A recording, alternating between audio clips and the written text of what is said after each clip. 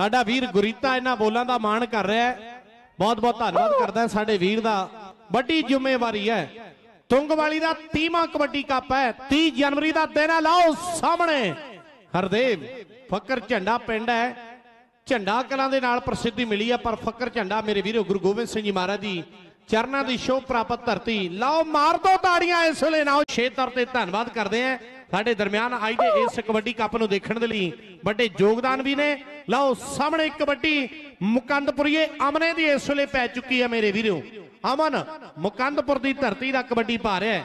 ਚਾਰ ਜਾਫੀ ਘੱਲ ਕਲਾਂ ਦੀ ਖੇਡ ਕਲੱਬ ਦੇ।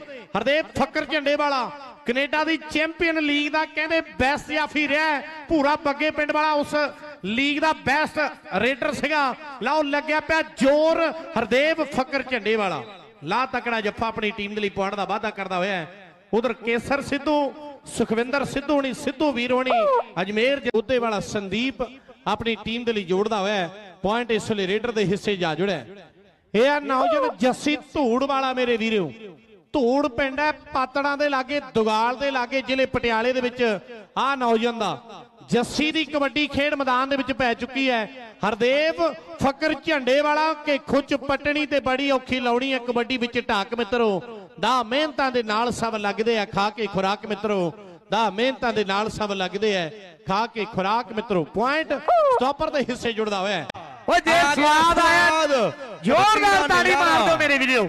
ਜਿਹਨੂੰ ਜਿਹਨੂੰ ਸਵਾਦ ਆਇਆ ਜ਼ੋਰਦਾਰ ਤਾੜੀ ਮਾਰਦੇ ਕਰੋ। ਲਓ ਜੱਗਾ ਤੇ ਹਰਦੇਵ ਫੱਕਰ ਝੰਡੇ ਵਾਲਾ ਬੱਲੇ ਬੱਲੇ ਗੋਡੀ ਗੋਡੀ ਬੱਲੇ। ਸਮਾਂ ਬੀਤਦਾ ਹੋਇਆ।